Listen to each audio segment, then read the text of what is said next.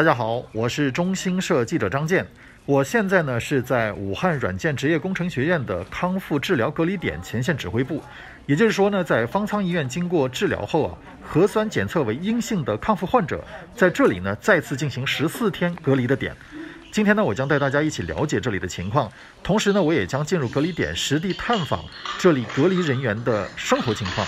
这里呢是隔离点的指挥部，我们看到呢这边有一张展板。上面呢是治疗隔离点的仓位情况一览表，这是从二月二十一号到二月二十七号进仓隔离人员的数字情况。我们看到呢，截止二月二十七号啊，这里总共接收了六百五十六名的隔离人员。接下来呢，我们将要进入隔离点，看看那里的情况。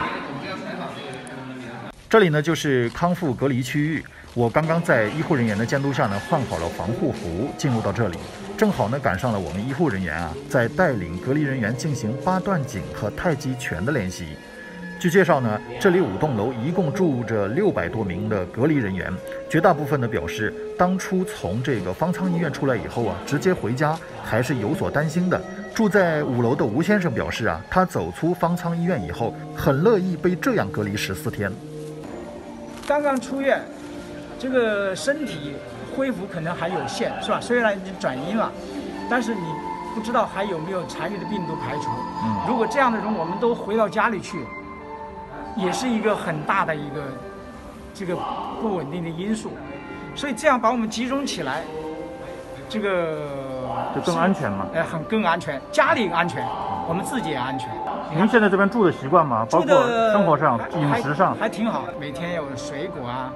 酸奶啊，牛奶啊，这个然后配上一些这个呃适合我们的饮食，所以说我们就我经常跟那个家里也感慨，就是我们在家里去自己隔离没有办法能够做到这样的这个，这里你看它都给你设计的很科学，这个所以呢我们也感觉到对这个呃。恢复啊，也更有信心了。在这里呢，我们见到了正在手机录制医护人员打太极的李小姐。她介绍呢，自己是一名插画师，在被隔离期间呢，她将过去大半个月从患病到康复的经历画成了一幅幅漫画。这些作品呢，上传了社交网络后啊，还得到了不少网友的鼓励。同时呢，在想到自己即将与家人团聚，李小姐感慨啊，心情是倍感雀跃。恢复的蛮好，就是。整个人就终于放下心来了，而且我家里人也没有一个人感染的，所以说现在就是一种很雀跃的那种心情。然后又回到了这个学校的一个生活，也没有想到是以这样子的一种方式重回校园，就是再一次感受到这种校园宿舍的这种条件的下面的生活。那他们如果说要符合这个可以回家的这个条件，就大概是什么呢？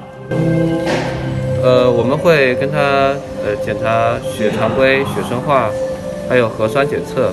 嗯，然后最主要的还有它的那个 CT 影像，如果它的 CT 影像的话，它的吸收良好啊，核酸检测阴性，然后血常规和生化检查又都符合标准，我觉得这应该就是一个出院的一个正常标准，就可以回家了。对，我们的医护人员说啊，希望大家都能够健健康康的回家，加油！更多精彩尽在中国新闻网客户端。